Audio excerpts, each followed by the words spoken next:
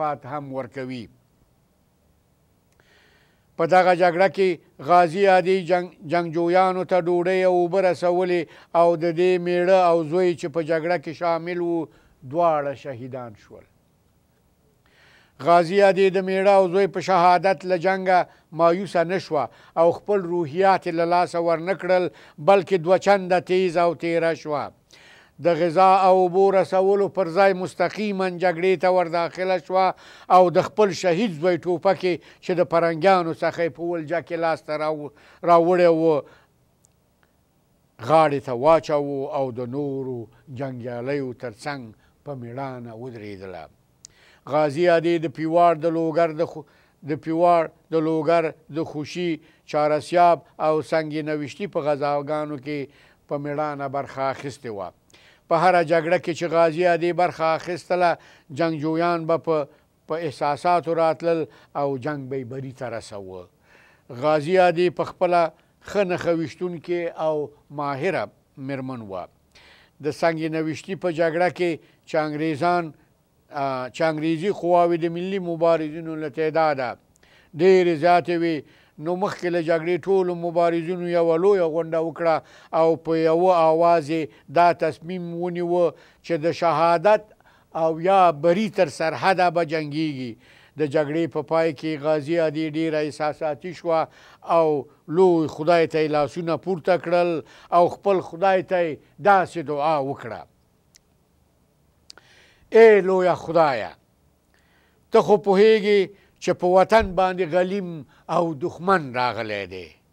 زمونږ ټول ملي مفاخر او قمي او قومي ژوندون په خطر کې لوېدلی دی، د دې سره چې زه ستا د رضا او قوم د خدمت کولو توان نه لرم، خو ستا توفیق او مهرباني په دې پاکه لاره کې غواړم، په دې مقدسه معرفه کې مې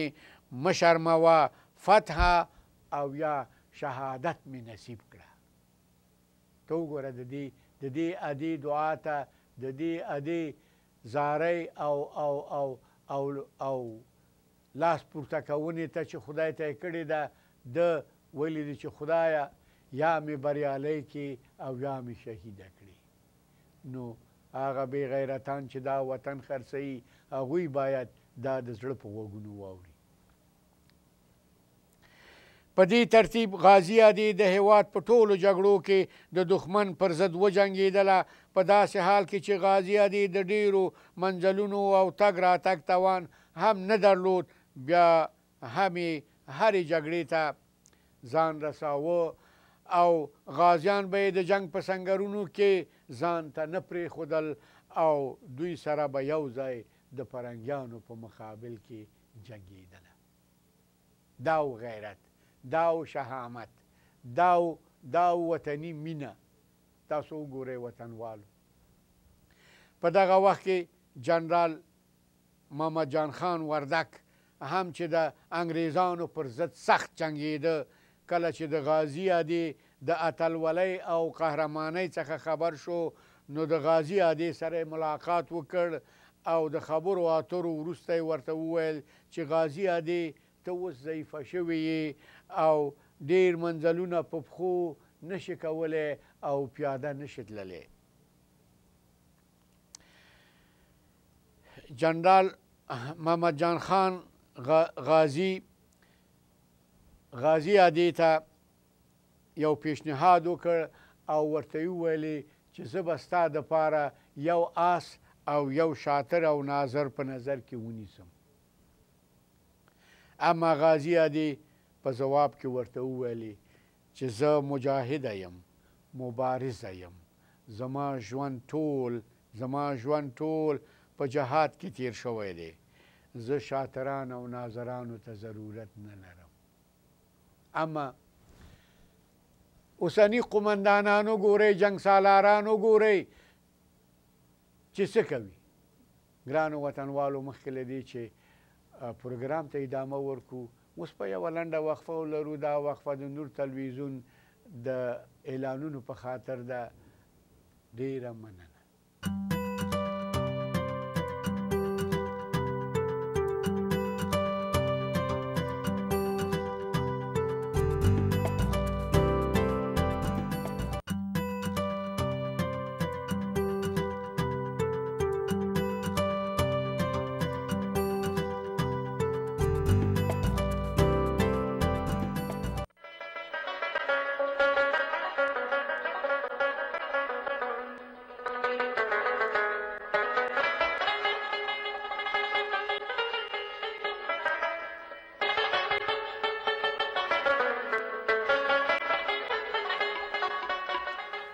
ډیرو قدرمنو وطنوالو بیرته راځو خپل پروګرام ته دا دلچسپه پروګرام د غازی ادې په هکله دی ما وویل چې جنرال محمد جان خان غازی وردک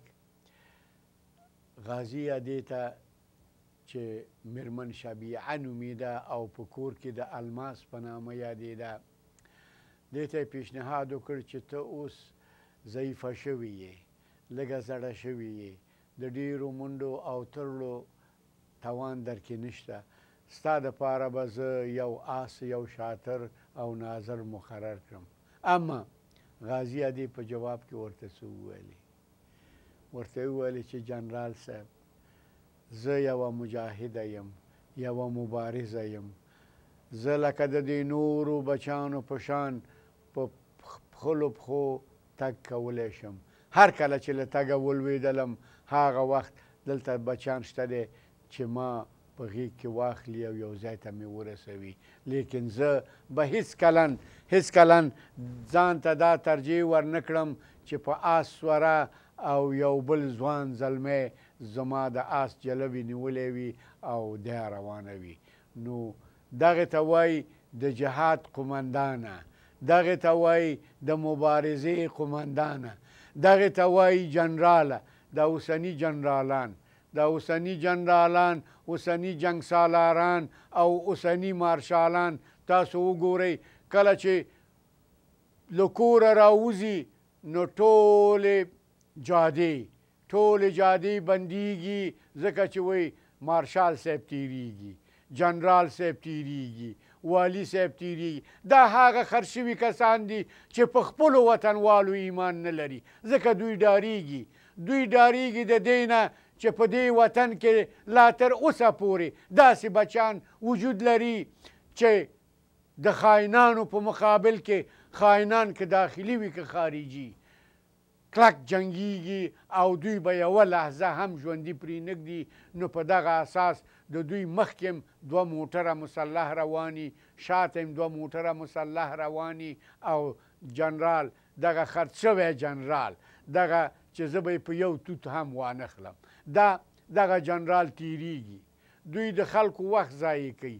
په کابل کې که وګورئ دغسې دغسې حالات د ورځې دوه درې وارې تکرارېږي، فلانی مارشال صاحب تېرېږي، فلانی جنرال صاحب تېرېږي، فلانی وزیر خر شوی وزیر تېرېږي، فلانی خر شوی رئیس تېرېږي، نو وطنوالو د دغه خر شوو اخرنی ژوند به څه وي؟ د جهاد قومندانان غازي ادې وه. محمد جان خان وردک و، چې د خپلو خلکو په منځ کې روان و، د خپلو خلکو په منځ کې یې جهاد کاوه، هغوی په دې وطن ایمان درلوده، د دې وطن واقعي بچیان وو. نو د ادې د جنرال محمد جان خان وردک پېشنهاد ونه مانه او په پخلو په خپلو خپو به هرې غزا او هر جهاد ته روان وو. ده په جواب کې ورته وویل چې زما مېړه او زما زوی بې آس او بې ناظره او بې شاتره جنګېدل او د وطن د آزادۍ په لار کې شهیدان شول، زه هم غواړم یا دښمن مات او زبون کړم او یا دا چې د هغوی په شان په دغه لار کې شهید شم، دا به زما لپاره لویه نیکبختي وي. په دې ترتیب غازي ادې د جنرال محمد جان خان مهربانۍ ته منفي ځواب ورکړ او د نورو مبارزینو په شان د دوی په قطار کې د قاضي کلا څخه د علي اباد په لور د نورو مجاهدينو ښځو سره يو ځای د انګريزانو مقابلې ته روانه شوه. زموږ تاريخ پوه سيد قاسم رشتيا په خپل اثر افغانستان در قرن نوزده کې ليکي، زنها در دهات چارسياب و چلستون از سر بامها با کوزه و نغاره بر سر سپاه انګليس، که از کوچهها و باغها میگذشتند حمله میکردند و در معرکه ملی سهم میگرفتند. همدغه تاریخ پوه یعنی سید قاسم رشتیا په عین الوقایع کی لیکی چه د افغانی میرمنو د هیواد دوستۍ، سرتیرۍ او شجاعت دبدبې ډیرې جګې وې.